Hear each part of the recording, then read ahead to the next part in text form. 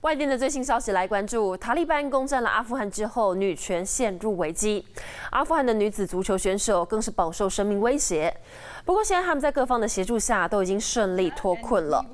这些选手还有他们的家人在内，一共一百三十多人，已经在当地时间十八号抵达了英国伦敦希斯罗机场。这一次营救行动是由犹太教这个援助组织所协调的，还有美国石敬秀女星金卡达下出资来协助包机。那过程还有一些慈善团体、体育界以及宗教界的人士等等，等于是跨宗教还有族群的合作下，才完成了这一次的救援任务。